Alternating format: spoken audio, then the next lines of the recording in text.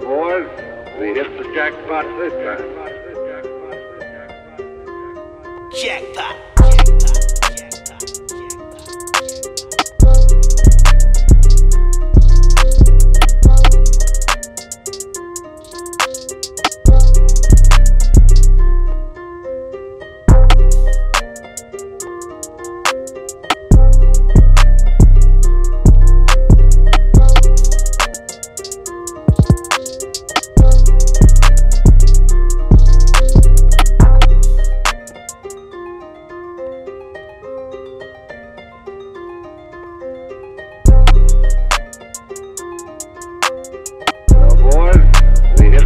Jackpot this